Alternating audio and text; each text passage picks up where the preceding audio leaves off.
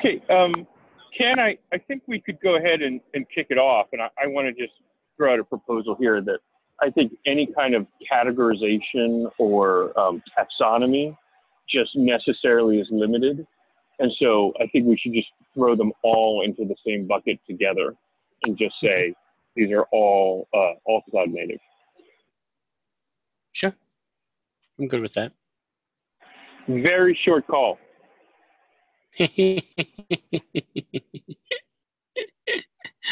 uh, funny. Anything else you want to say, Dan, before I um, jump into kind of the pre, the, the earlier work we did on this? Uh...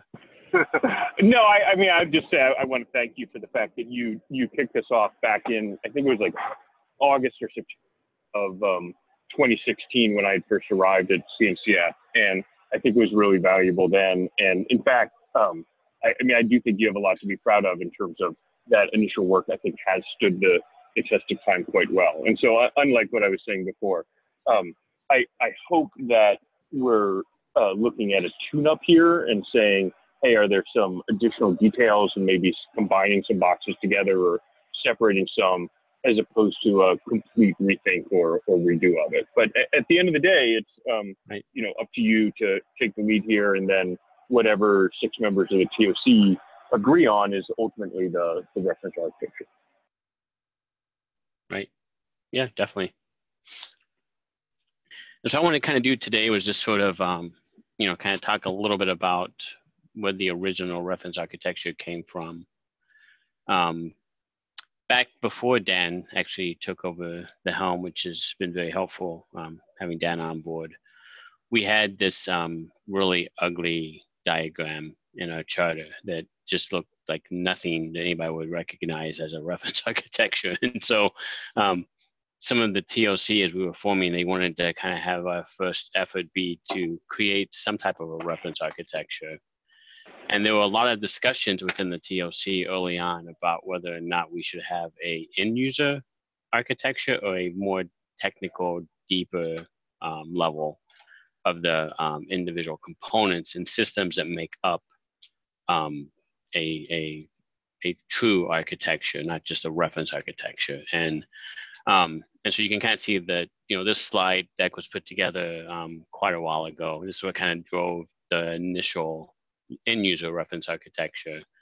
Um, and we kind of were, were targeting, uh, you know, very simple use cases of, um, you know, what is what does a cloud native stack look like? And so we we spent a little bit of time looking at um, my mouse over there. Sorry, um, kind of uh, at the top of that stack. You know what it means to be containerized, what distributed orchestration and management means, and what microservices architecture. And um, those are sort of the three. If you guys remember back in in the the charter, you know what are the the three things that make something cloud native? It was those three three things. And so we try to sort of say, what do those three things relate to in a end user type of reference architecture? And then we sort of ended up developing this sort of a, of a model where we, we wanted to kind of capture at the bottom that there is, you know, infrastructure of some kind underneath this reference architecture. We didn't go into any details about that infrastructure or what's needed or what's expected there. Um, but we did kind of focus on the provisioning layer, the runtime, orchestration management, and the the application definition and development piece. And so this is kind of the original and existing reference architecture. Uh, from this architecture, um, what Dan did, which has been really, really helpful, is he went out.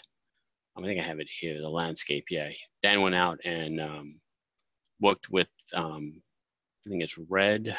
It's not coming up for me, but it's what's the name of the Redpoint and Amplify. Redpoint. Yeah, trying to get this to come up. Hopefully, it's just loading for me. But um, we have this sort of uh, landscape diagram that is just not going to work for me. Ken, what, one more piece of context. I, I included a link in the chat window to the CNCF charter, and I have the aspiration in the next month or so to get the governing board to agree to delete Schedule A entirely and replace it with that um, two paragraph uh, cloud native definition that the TOC just approved last week. Right. And so when, if and when that happens, that old um, out, of date, like three year old reference architecture will go away forever. Yep, exactly. And so one of you know one of the, the, the options we have in this group is to you know come up with a new reference architecture that replaces that existing one. Um, we also I think have the ability to kind of update um, that existing user reference architecture, taking into account some of the landscape work that we've done in the um, CNCF that I'm showing. Hopefully this did this show up finally for you guys too. Do you see it on the screen? Yes. Yep. And and so we could kind of update the um, we could have two different architectures. One that's kind of an end user, and then one that that you know could go more technical if we wanted to, or we could just um, we have that. That's something we can decide. We don't have to decide today, but um, what I liked about the the work that, that Dan has led on the interactive landscape is that it kind of you know leverages. If you look on the left hand side, it kind of leverages the same high level aspects of the user reference architecture as we discussed previously, and um, takes it to the next level down, right? So kind of talks about the different aspects of the app definition and development, the different aspects of orchestration and management. Um, and again, going back to what you know Dan was just saying with the new um, definition, we can update um, both of these at the same time, right? Um, and then what I what I submitted um, to the CNCF um, a few months ago was was this, right? Sort of a you know high level picture of kind of you know thinking about um, the cloud native architecture more logically. You sort of get this model of there's really you know these these orchestration pieces, these um, components where you're trying to observe and and and monitor what's going on. Then you have this optimization aspect, which led to um, you know kind of looking at maybe this as a logical starting point that kind of pulls together the reference architecture, the the end user um, uh, reference architecture, and the interactive map, right? To sort of give you a single view of you know these are the three main components that make up the logical architecture, and you know here's how they sort of correlate relate to these different aspects that are captured in the reference architecture. Um, and, and so this was kind of like a, what I thought would be a good starting point for discussion. Um, happy to, um, you know, kind of open up to, um, to discussion now and sort of see if there's any, um, any thoughts on, um, first of all, I guess the charter of what we want to do in this working group. And then secondly, we can get into um, you know, if there are some people who have other ideas they'd like to share, we could start, you know, collecting those ideas and communicating them when we meet um, every two weeks. So I guess I'll start off with kind of the, the charter. Any anyone have any um, suggestions on a different charter than we've outlined here as a starting point? I mean, for, for me, this is Jacob. The, the question is, who is the intended audience? like that that's sort of the first principal question for me because if it's a technical audience i would suggest we go more technical um, if you know it's a more of a marketing orientation i would go more broad but like who who is our intended audience is the first question i would ask yeah and so i, I kind of in the beginning um, when we did the end user reference architecture the intended audience was more marketing and more like the end user kind of like an education if you will of what cloud native means. Um, and that's why I think that that might still be worthwhile to keep around, even though we need to update it. Um, just because there is, and, I, and I'm sure Dan would agree, there's always a need for kind of marketing and educating the community as to what cloud native means. Um, I really think this logical architecture starting point to me is more of targeting a technical audience and probably wants to be, we want to get more technical with what the architecture looks like and how these interfaces work together for cloud native. But that's just my opinion. I'm open to like what other people think of, you know, one or two views of an architecture and if we, you know, need to go more technical, if we need to go more marketing. Yeah, I mean, from the so Ken, when we had discussed this logical architecture slide, you know, a couple months ago, um, I think the the impetus for uh, sort of the design um, was to uh, take from to go from a market map to something sort of more functionally and capability driven. um, Right. which was intended to give people sort of a view of how these things plug into each other. Um, and importantly, um, help folks as a decision making document in terms of like what the blueprint for a cloud native architecture could look like. Um, the, the challenge I have with market maps in general um, you know, either as an investor or as a consumer of technology, is that they're um, they're quite noisy and there's a there's a lot on there. And so by cutting it from a, a sort of capability driven um, architecture first, and then showing that really, you know, these are these are taking a view on these are the few things that matter, and then these are the technologies within those buckets that that are what matter, um, is really the the was the, the original intention of this slide. Um, and by showing how kind of everything else plugs into that um, as not you know commodity is is too tough a word, but um, sort of as a decision of secondary To me, I importance. think it's just be my Um, connection here. Can can, it, can people hear me? Okay. Oh, you- you're breaking up for me, but it could just be my connection. Anybody else having trouble hearing? I heard him fine. Okay, it's probably just me. My work doesn't Yeah, like and so, so, so that, that was the original intention, and I, I still, um, you know, I, I still think like having a, a it, it's difficult in the context of sort of like a the cloud native computing foundation. I, I think because um, you know I don't know what the the appetite is to take a view on putting forth like one or two technologies as opposed to broader buckets of technologies. Um, I'm I'm always of the view that it's good to sort of have a suggestion or a recommendation. Um, but I think for me, like this would this would make a, a lot of sense uh, as a starting point. Yeah, so just, I mean, I, Just a couple real quick points. I definitely agree with. I think that that was my view going into this. Um, and if you look at the landscape, you know, we do have like CNCF incubating, CNCF sandbox, and like Kubernetes is CNCF graduated, and so we do have. Um, you know, I don't think we are opposed as a community, and it's something that you know, obviously, I can now take back to the TOC at our next meeting. But um, based on our discussion today, I don't believe that you need to be worried or constrained to whether or not the CNCF wants to get more technical and define more of the the blueprints and the components and the um, the architecture around how these things should connect together and work together.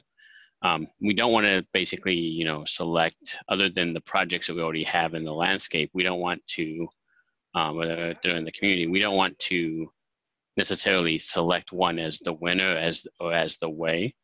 But you know, like we have something like CNI from the network side that is a reference implementation of a network interface, right? And so um, I don't think we are necessarily opposed to saying here's the way we see the, the architecture coming together technically.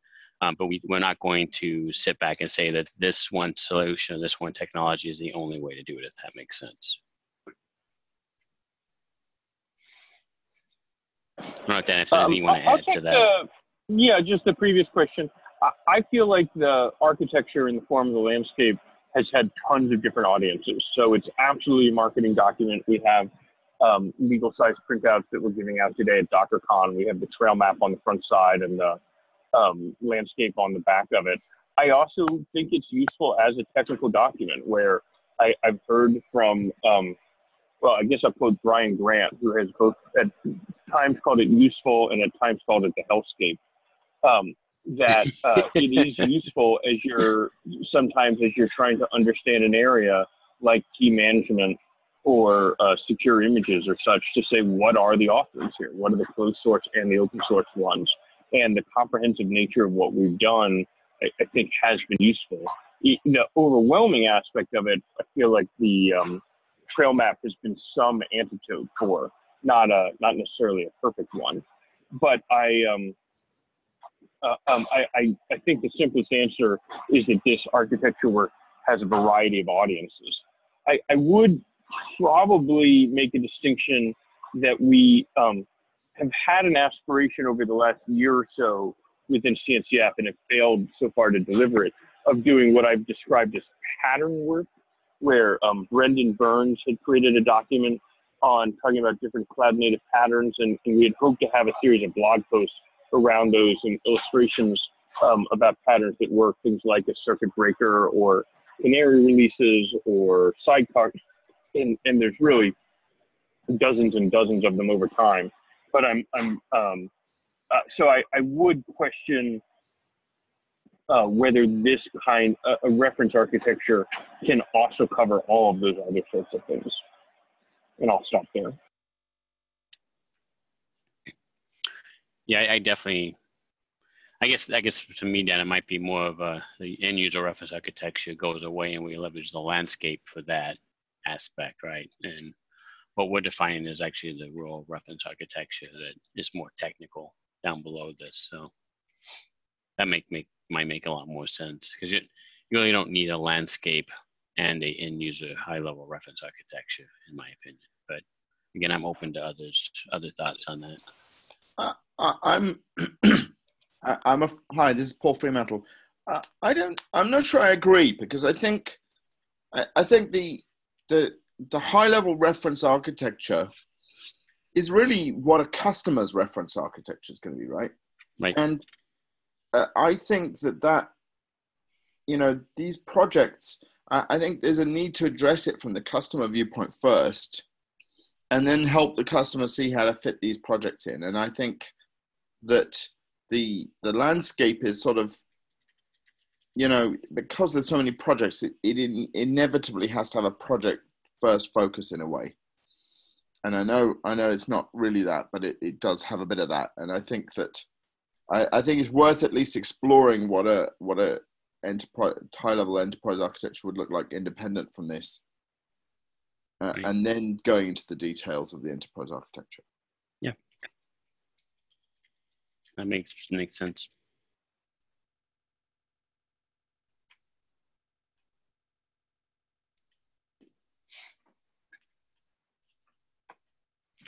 So now we have um, we haven't done like introductions. I mean, we should have started with that, but um, before we jumped into introductions, are there any other um, comments or, or thoughts anybody wants to share on on this first part of the discussion? I kind of want to second that last statement is that you know the things that will help in uh, reference architecture are kind of talking about the things that we don't expect to change a lot over time, whereas projects Change a lot. do change over time. right makes perfect sense. Yep. I like the, i like that that view of how i look at it too. That's a good um a good way to phrase it you know that this is going to last you know do multiple projects that change because it's not tied to any specific project. So right, so with that, um, I know Dan introduced himself. I'll introduce myself quickly. I am um, on the TOC. I work at um, MasterCard currently, and I was one of the original um, founding, what you want to call, like um, founding companies when I was at Cisco for um, for the CNCF. And so, um, been working on a lot of different projects and helping a lot of different projects mature and and help them getting into the CNCF. So I see um, Joe is uh, next on the list. Joe, you want to give a quick intro? Yeah, can you hear me okay? Yep, we can hear you fine. Hey, um, uh, Joe Carvalho, Intel. Um, I'm a senior architect uh, in the software services group, uh, formerly data center group. Uh, and I've actually been a part of the CNCF for quite a long time, uh, back when Intel actually built a uh, bare metal scale cluster. Um, and, uh, and Ken, you and I were on a, uh, Yep. uh, were on a panel um, way back then. So happy to be back in this conversation and to be a part of this effort. Yeah, lovely. I was very happy to see you join this, Joe. Thank you. It's It's good very to helpful to have you here. yeah, thanks. It's great to see you and everybody else on the on the call. This is awesome. And um, hey, Andres, um, maybe you can give a quick intro as well. Hi, I'm Andreas Jäger, working for SUSE as product manager. Thanks for joining. And uh, hey, Annie, good to see you again. You want to give a quick intro? Sure. Uh, my name is Annie Lai. I am with Huawei. I'm responsible for Huawei's all the cloud-related open source projects on the operations side. Um, I'm I'm trying to get one of our architects to come to this meeting on a regular basis, but in the meantime, I am going to uh, be the filler. Well, you're a good fellow to have, Annie. So thanks for joining. Thank you. Uh, Chris Short, you want to give a quick intro? Sure. I'm Chris Short, uh, currently a DevOps consultant with SJ Technologies. I'm a CNCF ambassador, and I'll be changing jobs here in the next couple of weeks, moving over to Red Hat on the Ansible team. Oh, cool. I have a lot of friends on the Ansible team. Tell them I said hi. Will do. Uh, Colin.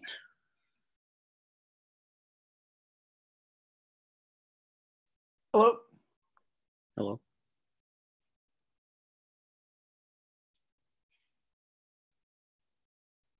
Can We'll give a quick intro. Uh, yeah, yeah. Sorry, I'm okay. Colin Sullivan. I'm in the, I'm a product manager on the NATS team. Um, yeah, and uh, NATS was just uh, admitted to CNCF in late March, so um, uh, happy to be here. And uh, see, Craig. Hi, all. I'm Craig Peters. I'm a product manager at JFrog. I work primarily with our partner ecosystem. And so you know, my job is to figure out where what we do uh, contributes to all of this, the way all these tools work together. Great. Thanks for joining. And I'm not sure the first name, but it's Jay Cole, Cole, Cole.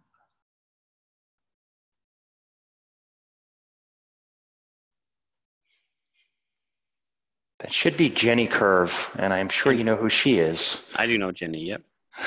she knows you. Yep. She's probably on mute though. Yeah, is my mic Hey, working? Jenny. no? Yep. It's working. Okay. Um, sorry. So yes, now I'm at Intel, and um, I, I, I guess I.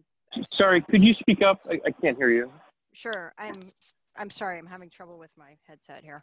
I um, I straddle ecosystem strategy and architecture in uh, Intel's um, Open Source Technology Center, and I work closely with Joe. And, and I'm also back on the Kubernetes CNCF front, um, although before I was peripherally peripherally involved. But Yeah, we try to keep you close. Yeah. Great. Thanks for joining. And then, um, hey, Joe, want to give a quick? I know I know you, but others probably don't. So, you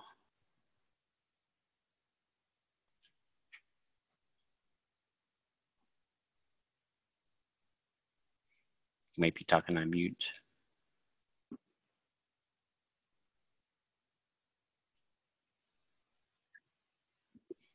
You know, uh, I wonder if you're re- referring to me, Ken. This is Jacob. Um, but my, my screen name on Zoom makes it look like my name is Joe. Um, I am uh, part of Index Ventures. Um, as, as I thought you were just some of you who I've met with, as some of you uh, who I've met with in the past know, uh, we we uh, do a lot of investing in a lot of different areas. Um, one of those areas is enterprise, and within the enterprise, open source is sort of a, a core focus for us. And in that capacity, we've gotten to know um, a number of the folks from the Cloud Native Computing Foundation. So, um, you know, excited to be partnering with you guys on this one. Um, you know, looking at the landscape, uh, a bunch of, I'm excited to see a bunch of our companies represented, both open source and, and not open source like Datadog. So, um, excited to see where this goes. Great. And then, of course, Paul, you want to give a quick intro? I'm sure everybody knows you as well. Hi, yes, my name's Paul Fremantle, and I'm the CTO at WSO2.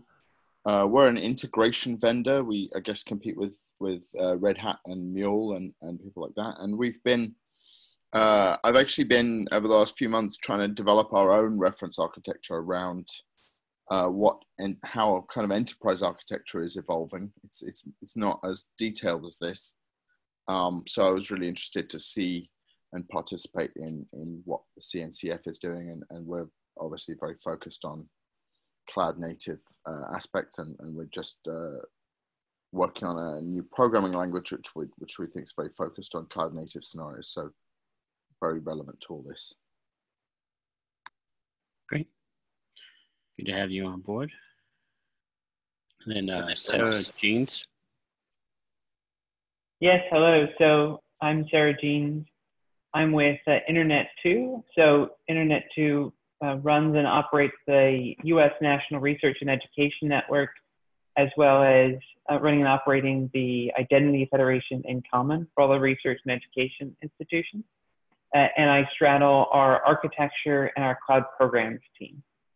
And Internet 2 just recently joined the CNCF as a nonprofit member uh, right at the end of April. So happy to be here.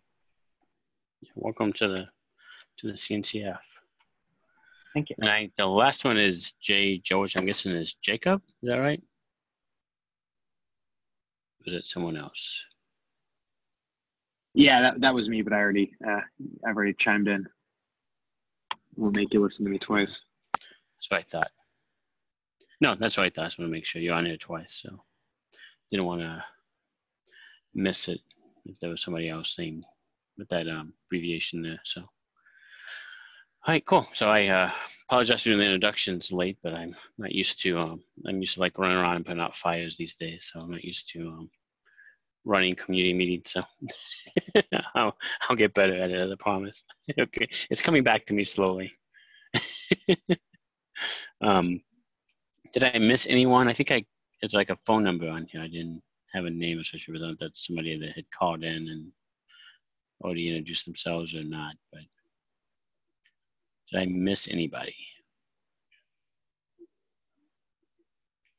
Right, cool. Um, and so, and, and you know, in talking with um, with Dan and then Jacob and the TOC, we there seemed to be interest in kind of using this as a starting point. Um, and, and I guess what I'd like to, you know, we don't have to kind of go into um, a lot of details today. This is kind of like a kickoff meeting in a way for what we want to try to do with this. And um, obviously, it's going to take a few meetings to sort of get some, you know, momentum and to, you know, start making some, um, you know, forming some opinions on what to do. But um, in terms of these areas, you know, you have sort of these three main buckets of monitoring, service communication, and orchestration. Um, and then sort of the um, the components that make up um, different parts of a logical architecture, security compliance, continuous delivery, platform management, cloud, log analytics, API management, discovery and planning for services, and the container registry. Does this seem like you know, is there anything you guys have questions about with this, or is there something that's missing, or that you're not sure how it would fit into this?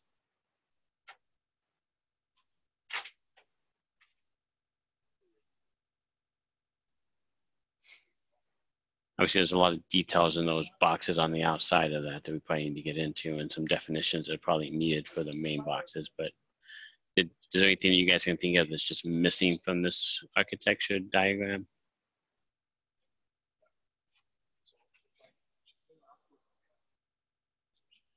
I guess, I guess the the this is kind of like a, a platform architecture diagram. It's kind of missing the actual applications and and and I feel like breaking out control and data plane might be useful. But well, there are lots of different lenses. I agree. It, it doesn't include the application development itself or even methodologies or there. Right. Is that pertinent here, though? No, I, I don't know. well, well, that's a good question. I mean, this is this is kind of an operational view of the platform, right? Um, what what is it doing in sort of static state, not sort of the life cycle or the deployment or topology? You know, what is it we're trying to get across in such a reference architecture? so the intention of this um, was to present a logical view and then take a point of view on what technology is really differentiated. Um, and if you were going to, you know, resources are limited everywhere. And so if you're going to invest um, in a set of technologies, um, the view is that these are the, you know, these are the three starting points. Um, and then if you hook everything else into these three buckets, monitoring, service communication, orchestration, everything else stems from there. The, the context is broadened, I think. Um, this was originally intended solely for microservices uh, and was really meant more of a as, a, as a blueprint for what we could do. Um, but the intention of this was to take a view on saying, hey, there's really only so many things that matter. Um, and those are the key decisions. And if you get those right, uh, everything else will follow. But I, I, agree. I think that you know it's a good starting point, but we need to build upon it. Yeah, I think that continuous deployment leaves us a little bit of room, maybe, to add some of the important development aspects to this as well, right? Because, like you know, one of the the main things that that um, I'm always working with my developers on now is how do you you know get metrics and understand what services and you know associate mastercard really worried about the security of these microservices and so how do you know that the service that you discovered is the right service and the actual service you think it is? Out of curiosity what is the the medium that we intend to deliver this in? Just online or are we actually going to try and like print this out somehow? Uh, that's a good question. To, to date, we've sort of used um, the CNCF um, website as kind of a way to to have a clickable um, drill in to these different components. Okay. And so it's been very much an online sort of view. Uh, with the serverless work group, we did do a white paper. Um, and it, while the white paper is still available online, um, I would not be opposed um, if we wanted to discuss having a white paper at some point. I would not be opposed to sort of putting together a white paper that could go into a little bit more of the, the detail around um, each of these areas that you probably wouldn't do online in, a, in an image view, right? Okay, thanks for clarifying.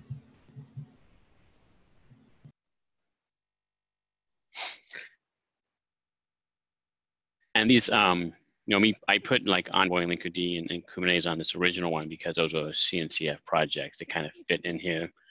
Um, I, I think I had Prometheus on there at some point. Too. I don't know what happened to it, but um, you know, I don't, I don't. I was just kind of using this to kind of help the TOC understand how our current projects at the time fit into this view.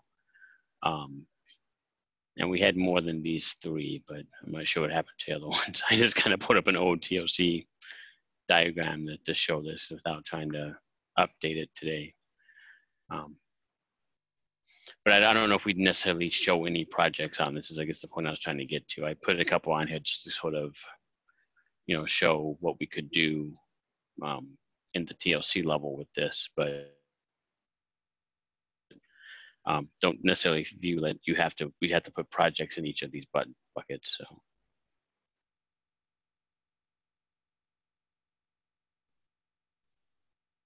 I think um, for the white paper, maybe it would be good to have some examples of what kind of projects fall into each category so we know where the gaps are. Right. Yeah, ideally, kind of like we did with the user, the end user reference architecture and the um, landscape. I'm hoping that there's a pretty obvious um, mapping of, you know, what the reference, the logic architecture provides, what sort of fits into that, and then where there are gaps that we have identified that are still needed. Uh, to kind of your point, Annie, if that makes sense. Yep if we're going to have these three different components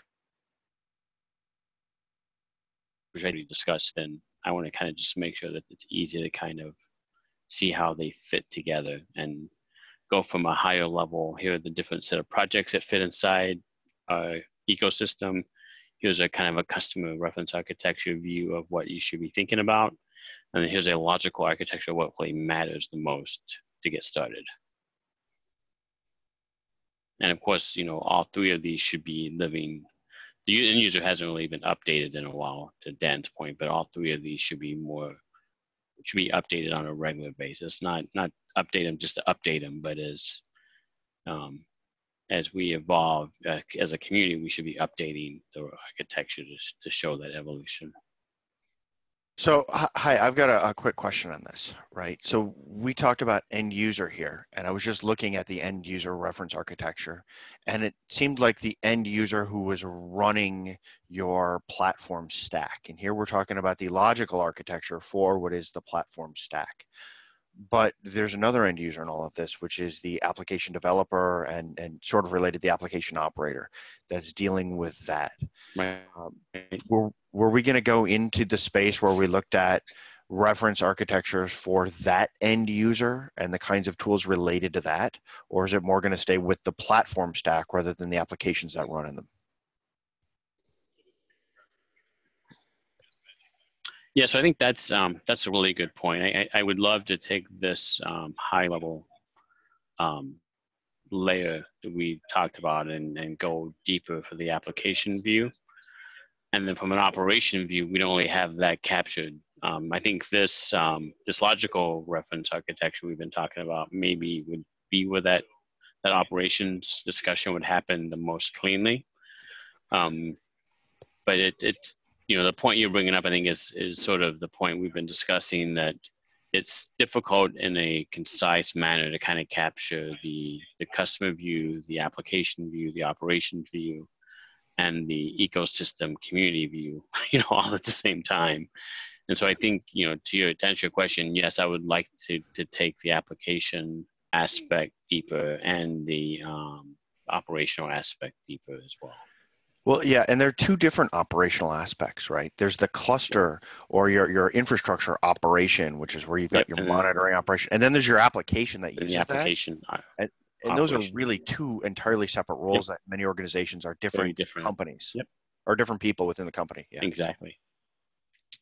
Yep, absolutely. And that's where I that's where there seems to be the most confusion in, in my discussions with with companies. So I think that'd be very important to do that. I, I think that's a really good point. That will eliminate a lot of confusion if we can have separate white papers targeting different, you know, audience, developers, operations people, and users, and then have a different architecture that kind of applies in their sphere. Yeah. Yeah, I think that'd be very helpful as well.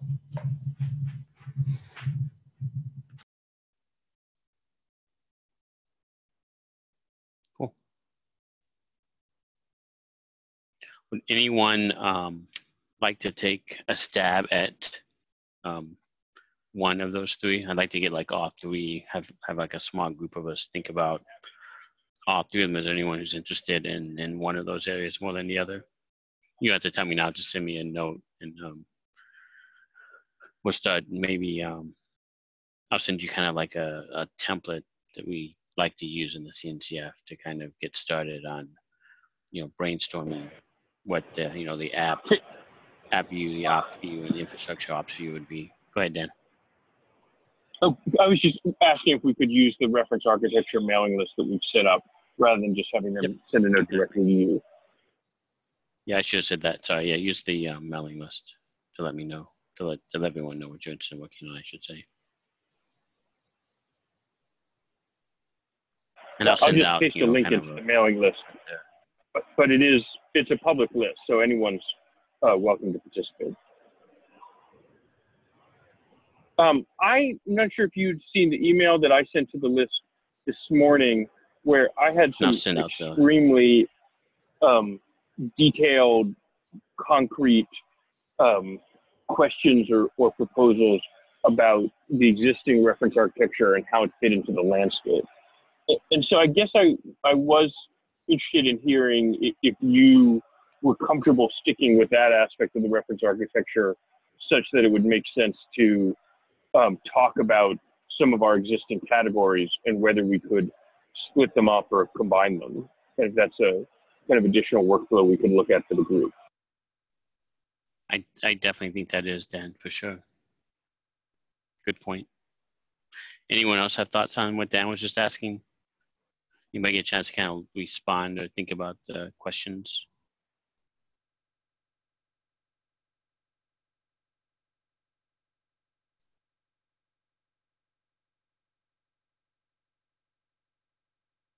Yeah, unfortunately, I haven't had a chance to really digest that email, Dan.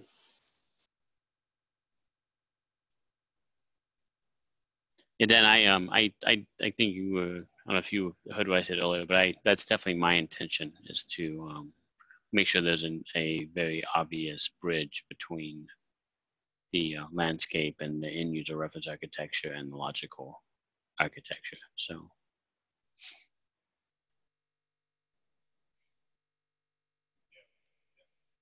Uh, Ken, I have kind of poor uh, Wi-Fi here, but I, I, did just paste into the chat window for people to see the guts of that message, where when you look at the landscape, um, and I, I, think most folks are familiar with the fact that we have this interactive version of the landscape that I'll also paste in the uh, the link to that that shows this.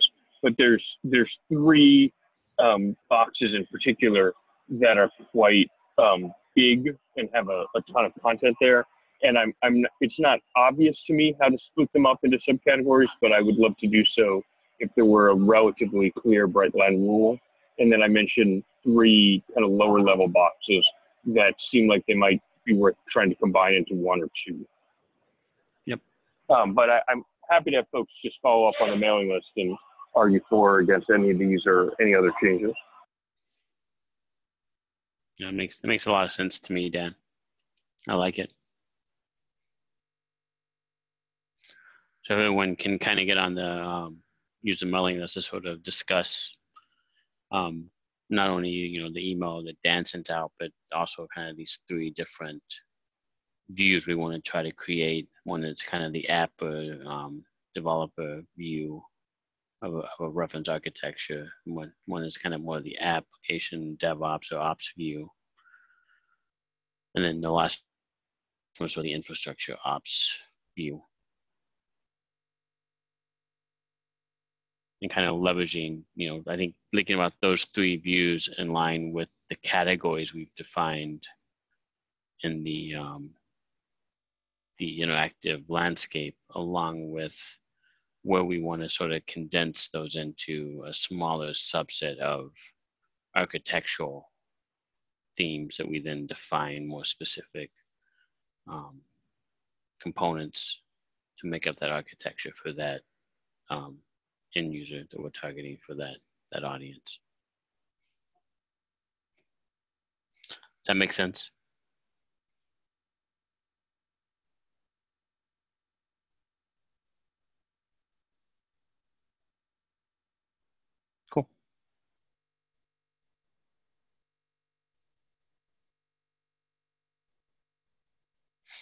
Anything else, Dan, you wanted to um to raise up? No, I, I'm just happy to have an ongoing email conversation. Um, I mean, we were a little slow getting this meeting slot set with the doodle poll and then getting the email piece uh, revitalized. But I mean, I'd love to have real discussions and debates ongoing. I don't think any of this is um, necessarily obvious. So very interested to hear people's feedback. Yep. So we'll start with your thread, and then I'll, I'll add another thread on um, sort of the um, the way that we want to think about reference architectures and the CNCF for discussion, and then um, we'll continue the discussion in email, and then we meet, I think, two weeks from today, if I remember correctly. Unfortunately, it's not. We actually just set it up as a monthly call. Monthly, okay. um, so the 11th. I believe. Yep, to 11th of July. Uh, yeah. Okay, but we, I mean, we can increase the frequency if, if necessary. I think we'll see if the email. I think the email is the better way to sort of start making progress, and then at, on these meetings we'll just maybe discuss. Um, and what I might also do, Dan, is I might um, I'll work with Chris on this. I might create like three. Eventually, I might create three separate GitHub repos for each of the reference architecture types we def- we agree on, and then um, we can kind of capture um, those architectures in Git and then um, you know discuss them and do pull requests as needed type of thing and define issues. So between that and sure, I, I, might start with um, Google Slides, and then when we get some consensus, move it over to be um, pages, right. markdown pages on the TOC list. But we, we can also create repos for you if you'd like them. Yeah, we definitely will get it's going to take us a while, I think, to get to that point. But yeah, I think that's exactly what I was thinking, what you just described with the markdowns. Eventually, we'll start with slides and then move over once we get some some um, definitions and some some consensus amongst us. I have a question, Dan. Uh, I have a question, Ken. So what? So when we produce the output, the three reference architectures, what's the process? Do they have to be approved by uh, TOC or is just Absolutely. so TOC approved? That means uh, TOC put a stamp on it saying this is official, and we publish them. Correct? Correct. That's correct. Yep. So this is a working group. This group. Of, okay, This is a great. working group. Um, well, just for we're we're not actually an official working group yet. Uh, working groups also have to be approved by the TOC. We should come up with some uh, euphemism for a uh, a subgroup or a BOF or an ad hoc something. I, I mean, if, if we felt like this was going to be like a meaningful ongoing activity, we could charter the working group. I, it just didn't really seem worth the trouble to create a charter and other sort of stuff. My hope is that we could create these documents get some consensus around them, uh, get the TOC to approve them, and then kind of put the work on hiatus. But the, the mailing list, of course, would, would stay around. But we, we can create a more formal structure if necessary. But but the, the key thought is that anything we do, no matter how great Ken loves it, it's not until five other TOC members um, agree as well that it's uh, a, an official CNCF output. Yep. Okay. And, and yeah, and to be clear on that, I- and I don't even get a vote, so uh, Ken at least is one of one of the nine necessary. yeah, and we we like to get nine. We don't. We, we can get five, but we like or six. We like to get nine though. So we don't like we don't mind dissension, but we kind of want to have a unanimous because it's a lot more powerful, obviously.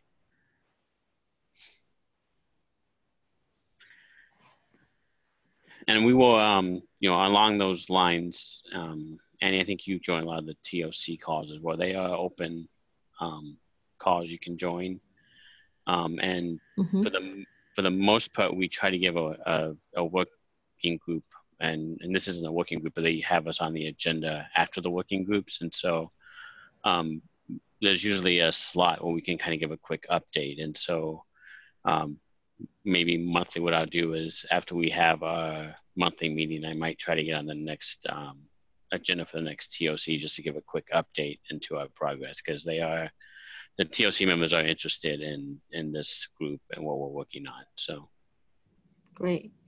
Thank you. I think this is a very good discussion. I'm very happy that I joined. yeah, well, thanks, James, for joining everyone. I um, are any other questions? I I've been kind of following the Google mentality of any of my meetings ten minutes early, kind of like college, I guess. So um, any uh, any other? Um, I don't want to like leave questions. So if there's any other questions, feel free to to ask them now. But for those of you who um, need some time before before your next meeting, feel free to drop off.